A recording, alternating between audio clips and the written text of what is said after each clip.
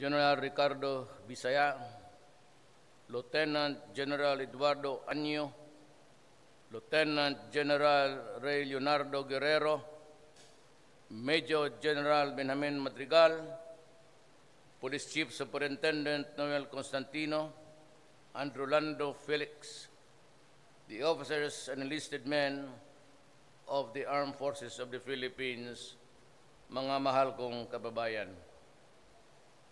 Let me uh, explain the reason why we are here in this place today.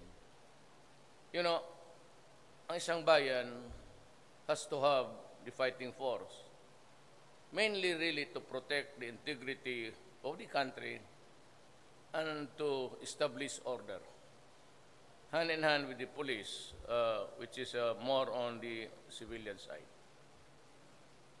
The duty of a president, kagaya ko, is not really to wage war against our citizens, Filipinos, but rather, ang trabaho ko maghanap ng paraan na sana tayo na walang walang walang conflict, walang away at wala namang namamatay ng bala na binibili rin natin para sa ating sariling tao pumatay.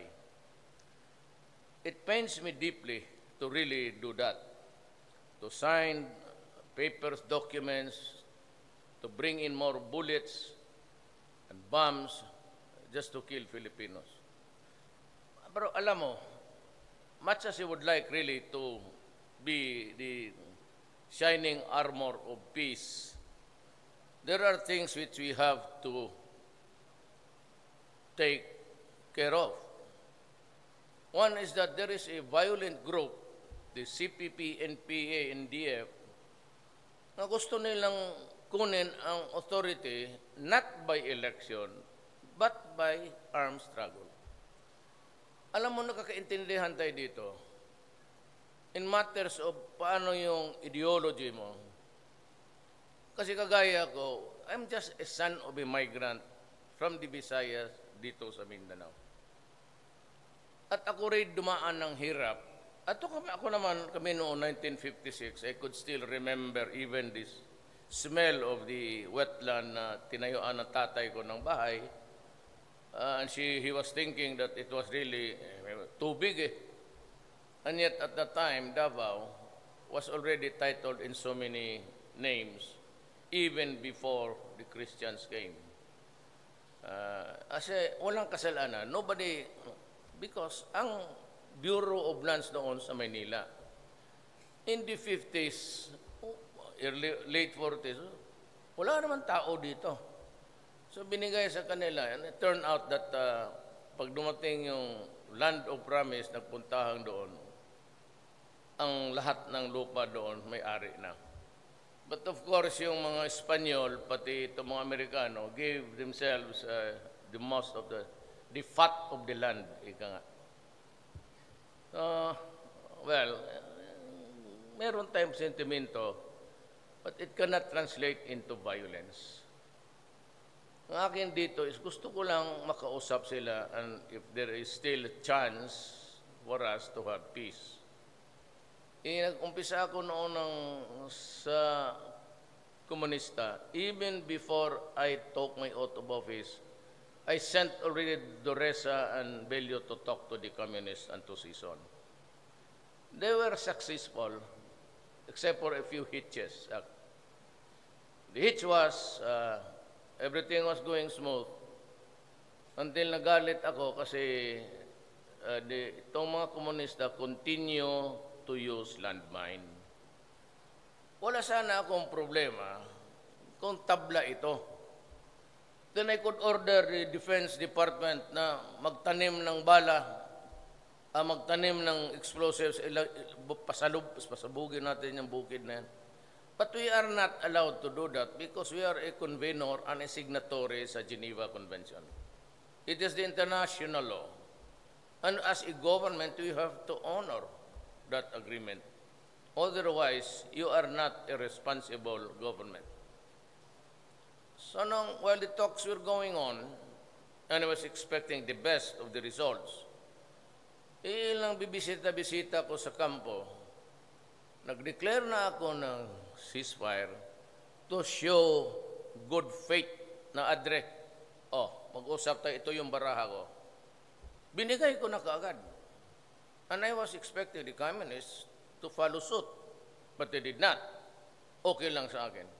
Until such time when I was covering the entire country, going the, to this military campaign, and then getting the reports from the field, that namatay yung, ano ako doon na nakita niya, I not want to talk about it,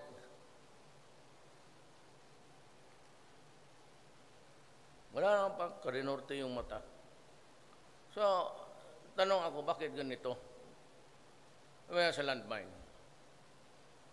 Kaya pag uwi ko sa Davao, the day after, or about two days after, when I talk to the people there inside, nakaburol yung 1, 2, 3 na sundalo, sabi ko sa mga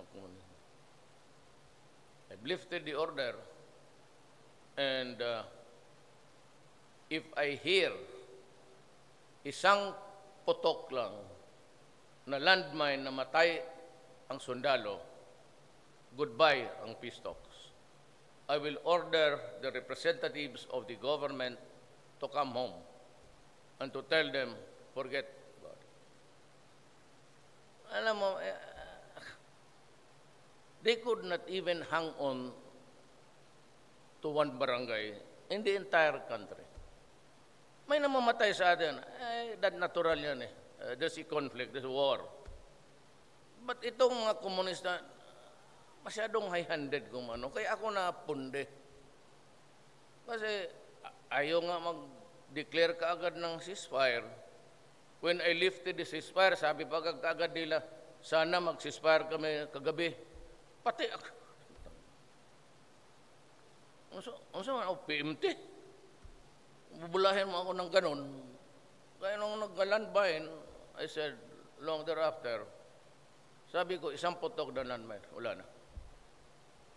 So, agira tayo. We've been at war with them for 45 years. There are a generation of them na lumaki na lang, namatay na, hindi na makabalik. Kasi magpapakita sila sa uh, pang matsamingan sila, di mapatay rin sila. So para sa akin, kayo, we are at the losing end. I have so many soldiers to provide you if you want. What? May casualties kami, but we take care of our casualties. Kayo, hindi na kayo nananalo ng eleksyon. In Davao City, kung hindi sila sa ticket ko, then left would never have won any seat. In the national, wala ang ni isa.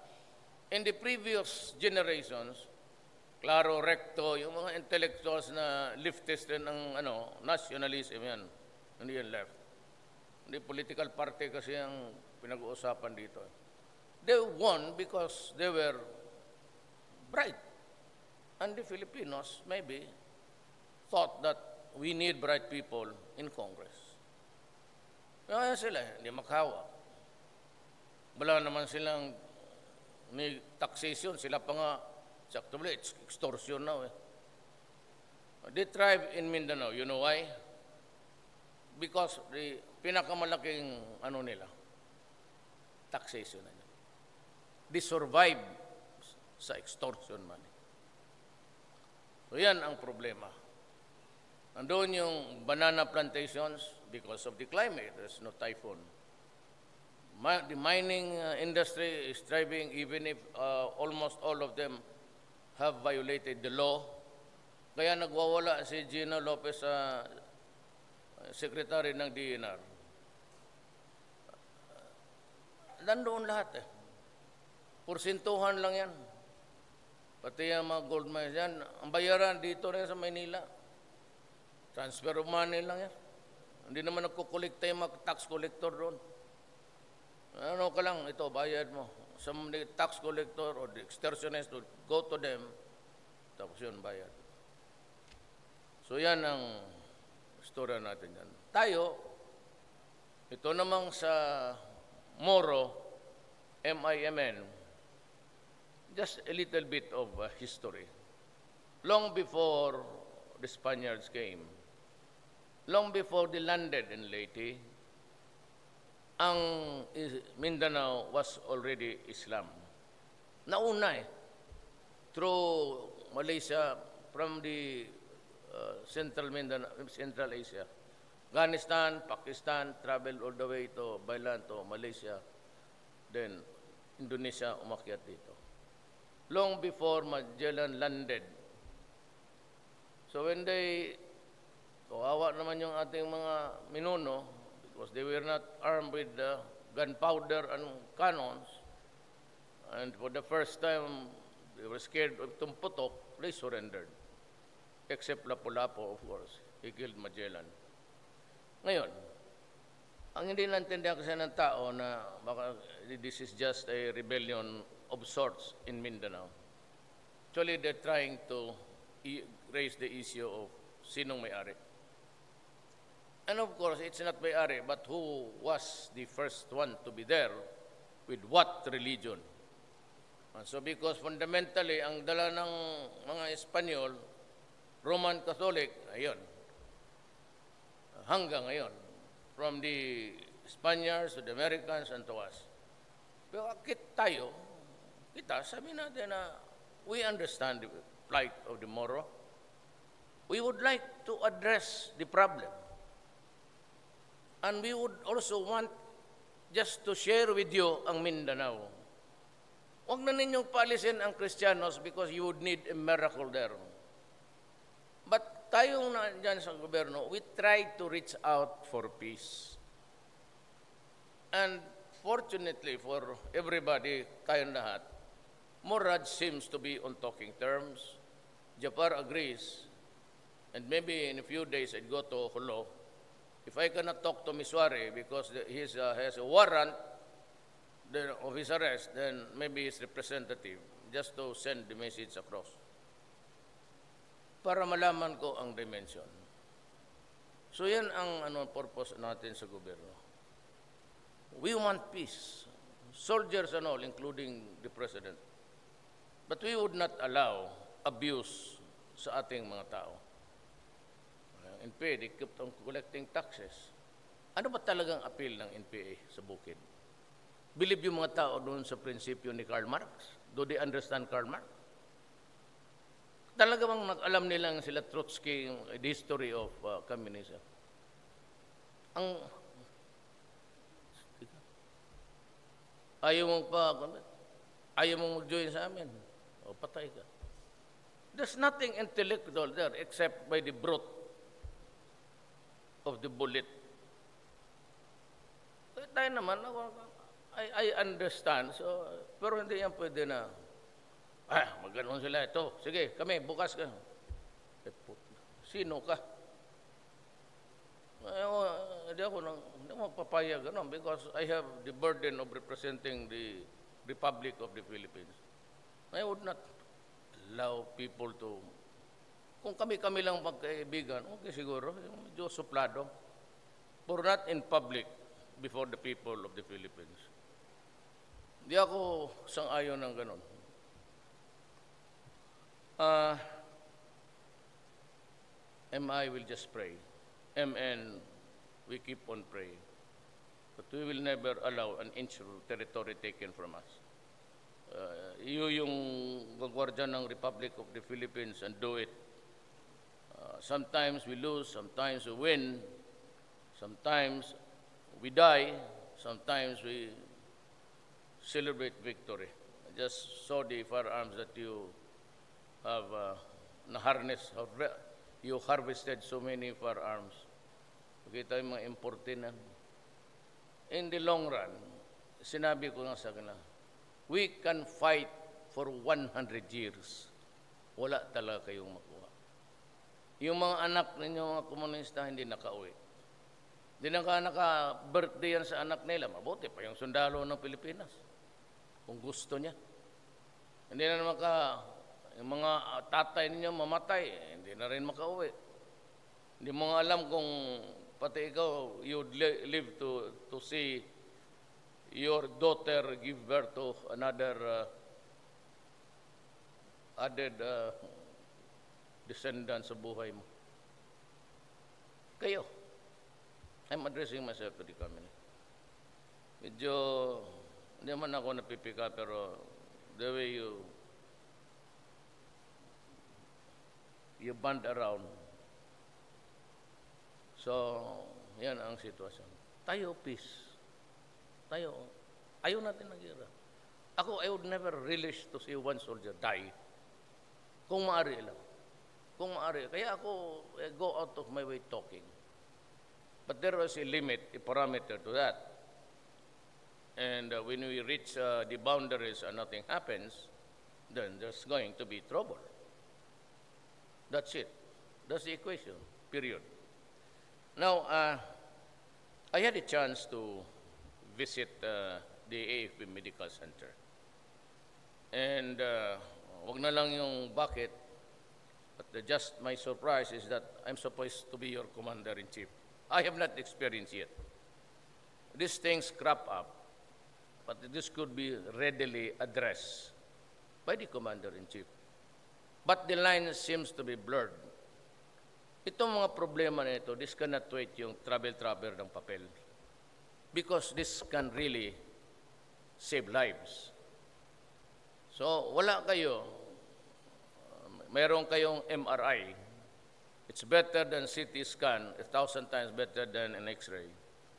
A hyperbaric, that is a machine like yung tangke na pinapasok yung mga divers na nauna sa kanilang bubbles.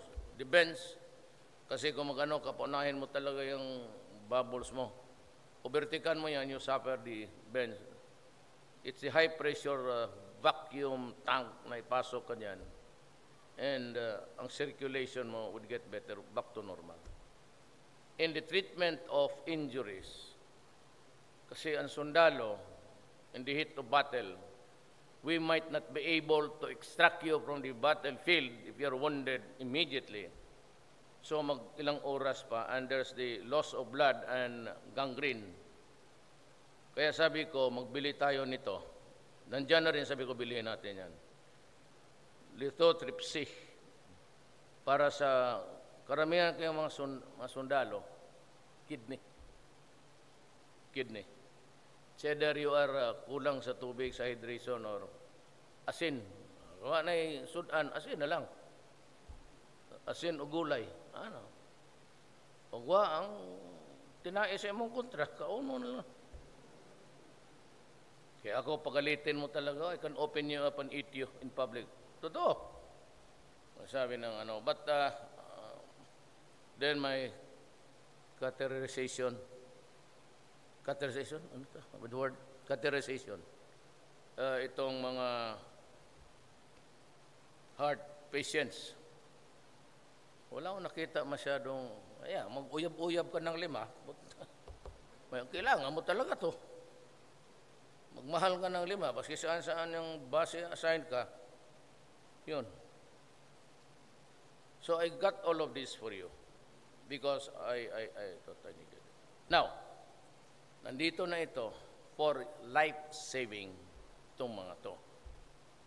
Ah, para masiguro ko na magamit to, at yung wounded talaga need, uh, needs uh, to be transported here, uh, I have requested the Secretary of uh, Defense to reconfigure lahat ng mga presidential planes na attached sa opisina ko. At least uh, sa pagkayo, gawin mo na lang ng hospital ambulances.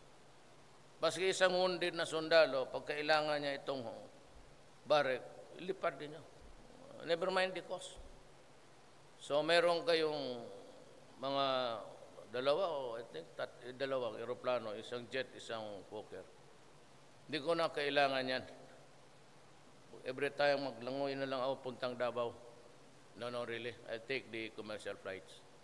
Eh, ang security, medyo ano sila, okay ba niyan? Kasi buti pa nga doon sa commercial, ini-inspection eh. Tayo, diretso lang tayong pasok. Maya-maya may pumasok doon na babae, hindi mo kilala. Sino ka, ma'am? Mabuti pa yung sapal, pati uh, kinakap-kap pa. So, I, I do not have uh, yung mga itong bakukang dyan sa, you can have it uh, for your uh, use. Then, uh, let me talk about drugs. Kasi, sandali lang, pagbigyan lang ninyo ako. Sabi nila, this will create a constitutional crisis. Tama. Walang problema yan. Ganito yan. Si itong nag-surrender ngayon, eh, medyo uh, this might be unsettling to hear sa kanya na mga judges niya sabit. At sabi niya, hindi ko alam kung bakit ganito. Yung ibang judges na nandyan, patay na o napailis na sa pwesto for ignorance of the law. Maybe the graft and corruption. Bakit? I just wanted to impress upon the public na noon pa alam na namin ang negosyo ninyo. Since your name is there, leave it and I will publish it the way it is there. Bakit ko exempt yung mga namatay? Eh, kagaya nung nakuha na precursor sa Apayaw na nilibing. Tapos sabi nung, uh, nung kapatid niya, dalawang taon naman namatay ang kapatid ko yung nagdala nito, inilibing niya. See? So gusto ko malaman ng tao kung sino nagtanim doon. At hindi lang yung mga police doon. I want the Philippines to know who are the judges, who are the soldiers, who are the police generals, pati yung mga nasa baba, eh, sangkot sa droga. Pati yung patay na, correct. At saka, pag namatayan sila, hindi naman sila magtawag sa amin. You do not call the PNP headquarters na yung nasabit ng anak ko o kapatid ko na naman namatay na nasagasaan o diabetes. So, why should we bother? Pag napasok yung pangalan mo dyan, it's not, personally, it's not mine. I just entered the presidency about two months back. It is the work over time of the many years that they are there.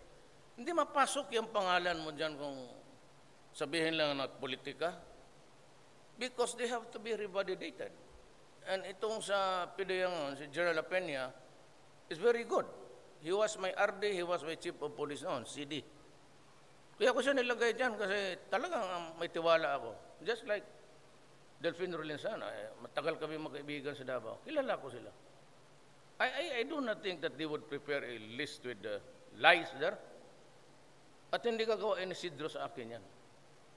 Ngayon sabi ni, ano, ang problema nito, tayo Pilipino ha, kayo mga sundalo alam niyo yan. Sabi niya, huwag mag-surrender kung walang warrant of arrest. True. Anong sinabi ko? Kayong mga huwes, mag-report kayo sa Supreme Court. Wala akong pina-aresto, Chief Justice. Sabi ko, kayong mga polis, pag-report kay Bato, I never accused anybody except to read their names. Nasangkot sa droga. Where? What? How? When did it happen? Never. It was not an accusatorial utterance. Yeah, rather, it was in consonance with my duty as the President of the Philippines to let everybody know sino yung mga tao sa tabi-tabi mo to spare you the agony and grief of a child being raped, a child na ginasto mo, yung mga kababayan natin, nagpakamatay ng trabaho na doon sa Middle East, yung lalaki sa Qatar, yung isa sa Dubai, ang babae, only to hear na yung anak nila nalulong sa droga and the wasted years of toil and sweat. Tapos yung isa na biktima, yung isa ang lalaki nalulong, yung isang anak ni rape inakyat sa bato. You know, Chief Justice, there was a slaughter going on. And mind you, you were appointed by the government there in your office as Chief Justice at the time na walang ginawa ang gobyerno. And why would you wait for a warrant of arrest?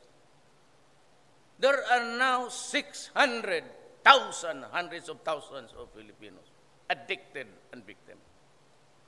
Magiging ka ng warrant, Madam Chief Justice, you must be joking. You must be joking. Dalawa tayo abogado, kayong lahat sa Supreme Court. Do you know how long it would take government to secure a warrant of arrest?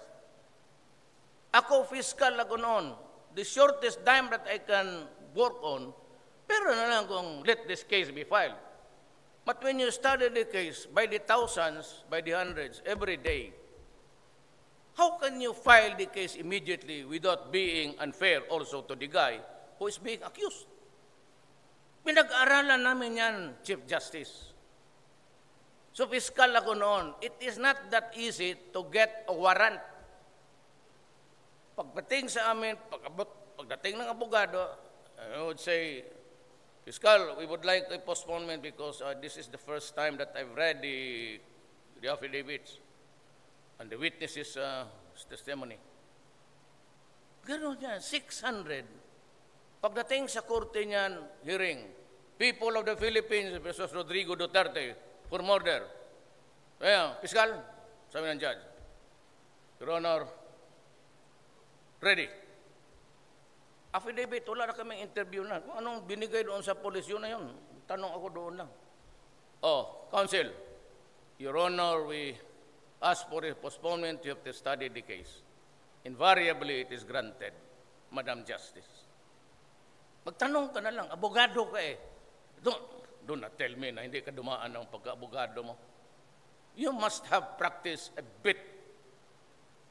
Pagdating yan, next hearing, Your Honor, ang, assuming they are on bail, Your Honor, client ko may lagnat, ito yung medical certificate, kasi kanino ko niya, maski peke ko ko tatanggapin niya.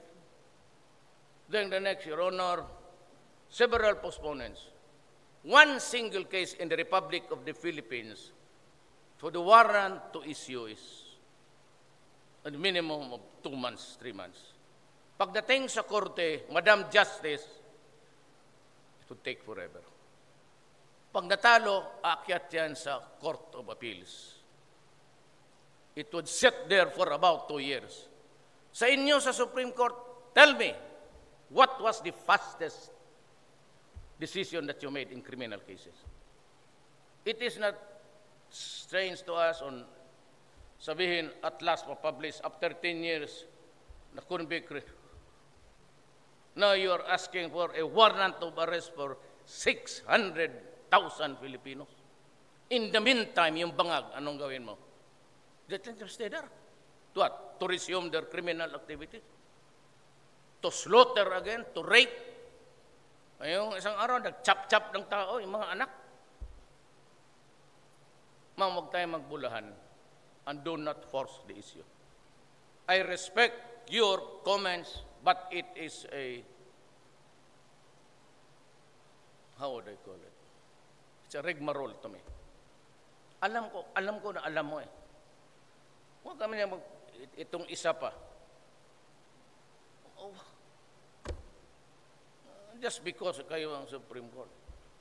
You order me, I will not follow you. Orderan mo ako. Hala kayo dyan. I will order the military and the police to save lives. I am not saying that they should kill them. But in the meantime that you are projecting your theories there, there is crime on the streets. Please, please. Do not, sabi mo, create a constitutional issue. There will be. Pero wag mo akong pasundin. Ba sinabi ko sa inyo at sana narinig ka, ma'am, in this presidency of mine, wala akong dreams dito. But when I said, I will stake my honor, my life, and my presidency, ito. I can I can retire to the let go of the presidency tomorrow and be happy with my life. But I have a problem for my country because I was elected by 5 million Filipinos with a sheer margin of 6 million. Saan ka nakakita yan? Hindi na ako kilala. Wala akong pera, wala akong makinarya. So saan ko kinuha yung 6 million na nagsabi na because the messaging was there. Yung 6 million na hindi ako kilala, ang alam nila, I said, there will be no corruption in government. And rest assured, ngayon na, sinasabi ko, itaya mo yan, there will be no corruption in this government. Ito, honor. Ano pa? Sabi ko, drugs. Lahat ng mga anak ninyo hindi na makawi, kundi masaksak, mahold up. And there was slaughter every day. And you are just interested in the warrant of arrest. Parinig ninyo kay... Ano, Is that all? Maghintay sa warrant of arrest. In the meantime, crime is rampaging. Oh, come on. Bago ka nag six years in dumaan, walang ginawa yung Look what happened. Ako two months na ako dito. So, ikaw ang niwarningan ko, hindi ako. Do not create a crisis because I will order everybody in the executive department not to honor you. Gusto mong prangkahan. Eh, nakialam kayo ng may patay. O di, pa-imbestiga natin. Salvage, hindi min namin trabaho yan. Bakit ko tataliin yung tao kung gusto kong patay? Di barilin ko na lang isang beses sa ulo. Why would we waste time ng You know, long before pumasok kami, nag-create na kami ng intriga. Damputin namin to, sabi namin, yang, yang si Lito ang nagturo sa iyo. Pagdating kay Lito, sabi namin, yung isa ang nagturo sa iyo. That is what you really want. It is a legitimate uh, game there. Uh, we plant intrigues para magpatayan niya sila. What would be the purpose of government? I mean, but kung may pulis siya, sipain, you wasting your time, barilin mo sa ulo, tapos. You know, ma'am, I've been mayor of Davao City for 23 years. I've been in conflict with a lot of criminals. The mere fact that they are into shabu, sira ang utak niya. Kaya invariably, ang paranoia, you better ask the doctor there, paranoid yan sila. May naghanap sa kanya. Ganun talaga ang asawa niya, nangangaliwa. Kaya kaya pinapatay nila yung mga. Crazy. You must realize that. Kaya sila sabi na bakit uh, classic na pagdating ng pulis patay, ma'am, yung mga pulis, pag naglabas yan, hindi naman yung gagong magsolo lakad yan. There always three or four with them. So kung maglumalaban ito, yung isa naka, may confrontation, yung mga pulis nakaposisyon na yan. Naturalmente, pagka any hostile, ang order ko sa pulis, pag may magbunot ng ganan, barilin mo. Huwag mo hintayin na paglabas niyan, apay, ano pala, apple. But you want my policemen to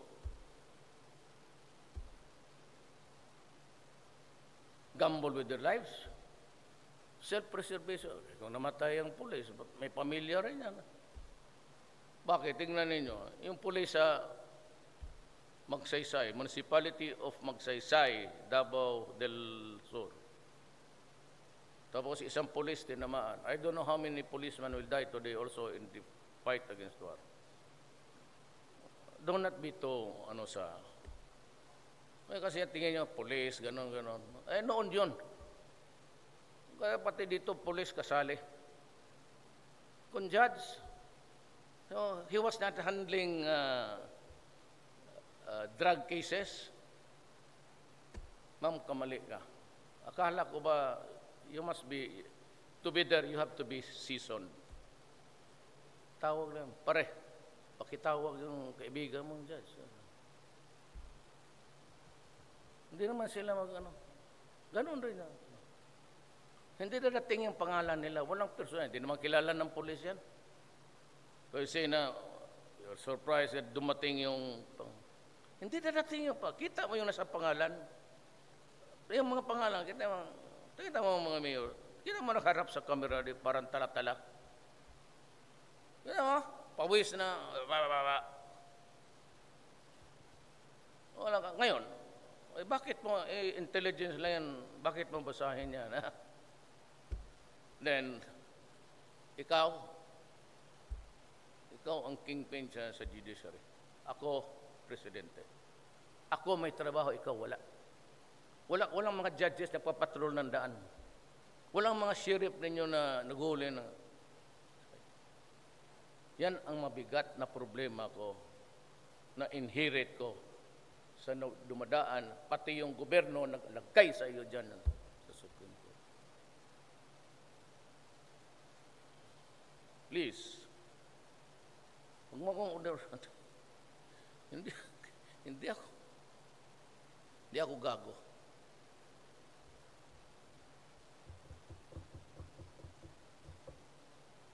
If this continues, pigilan mo ako. Di, sige. Pag nagwala na, or would you rather that I will declare martial law?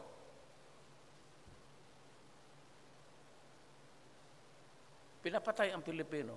I grieve for the so many women raped, men killed, infants raped.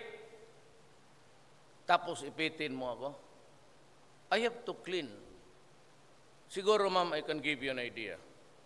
Pagka binilisan lang yung federalism at nalinis ko sa droga ang Pilipinas, I am ready to retire. Kung ma-ready yung federalism by two years from now, three years from now, I will give way and I tell you, I am good for retirement. Wala akong ano dyan sa presidente-presidente. Matagal na kasi akong mayor, pareho lang eh. Except that uh, the country is much bigger. At marami akong, ito, my duty is to the troops of the Republic of the Philippines. Kayong mga sundalo, do not be, dyan lang kayo. Pilipino kayo, manood kayo. Sino yung tama? Kung ako ang tama, di, patalsik ninyo ako. But isipin ninyo ang problema, madala ba ng warrant of arrest? Kayo, nakatikim naman kayo magdemanda. Ilang years na yan dyan sa korte.